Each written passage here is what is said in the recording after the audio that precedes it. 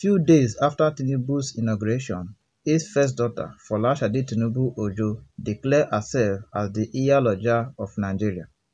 Following her declaration, she added in a statement, My father is now the president of Nigeria, so I want to use my power to support him, to gather information from people and seek people's opinion and refer it to my father.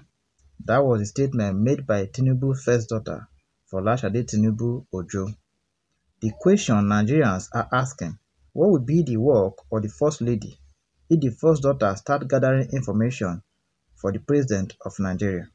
According to Nigeria's constitution, there was no position of the first daughter of the Federal Republic of Nigeria but first lady. Issue of Tinubu's first daughter, Folashade Tinubu Ojo, saying she wants to help his father to make the country a good one is practically considered as pride. Folashade Tinubu Ojo is married to Oladimeji Oyetunde Ojo, a politician from Ekiti State. Of a truth, if Folashade is looking for whom to help, she should go and help her husband, not her father. The position of the First Lady is for the First Lady, not for the First Daughter. It has never been heard in the Nigerian history that the First Daughter is among the presidential cabinet role. According to Lagos residents, Folashade is considered as Iyaloja of Lagos. Iyaloja means mother of market, meaning her effort should focus more in the issue related to the market, not Nigeria. From the information heard so far, Folashade Tinubu has been a good mother to market women. Apart from being the mother of market, she has been honored with numerous chieftaincy titles in different states.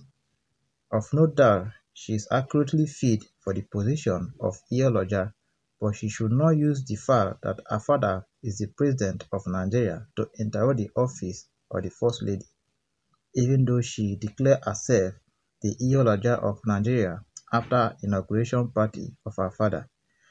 On the other hand is Oluremi Tinubu, the First Lady of the Federal Republic of Nigeria.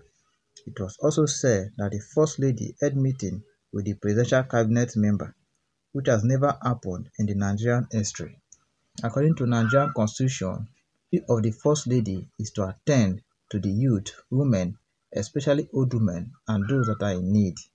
It was never heard nor seen that the First Lady is holding a meeting with the presidential cabinet.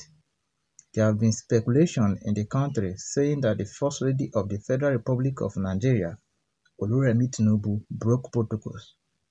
We know very well that Oluremi is a politician too, but that should not give her the mind to hold meeting with the presidential cabinet.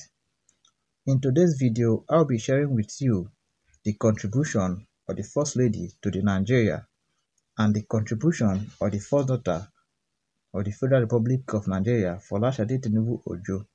Without much talk, let's dive into the main video.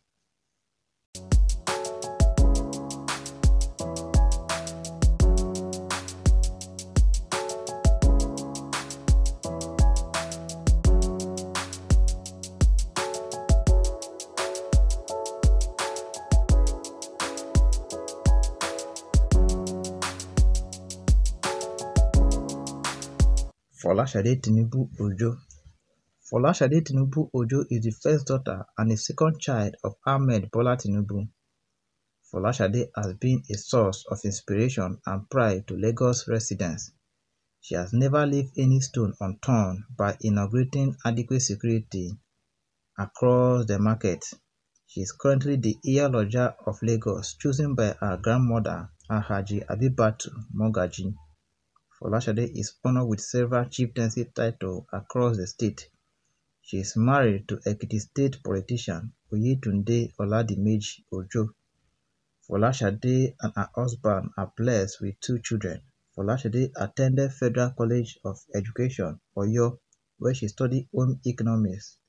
She later proceeded to prestigious Middlesex University in London, where she got her BSc. Folashade is the true color of her father, Ahmed Bola Tinubu.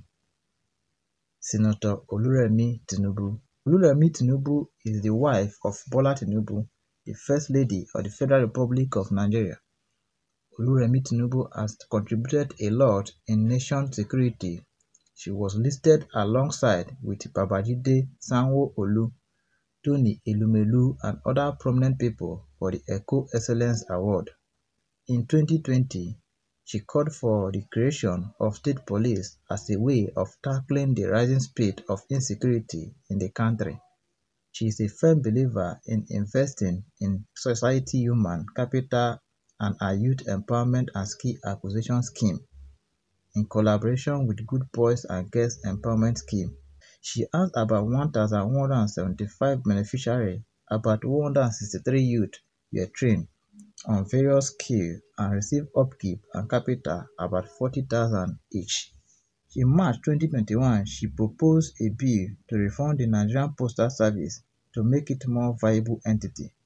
She became the first lady of Lagos when her husband Ahmed Bola Adekunle Tinubu was elected as the governor of Lagos State.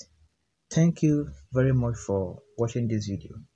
Please, if you like this kind of video, kindly subscribe to this channel and never you forget to click on the bell notification icon to get notified anytime I drop a new video. Thank you very much.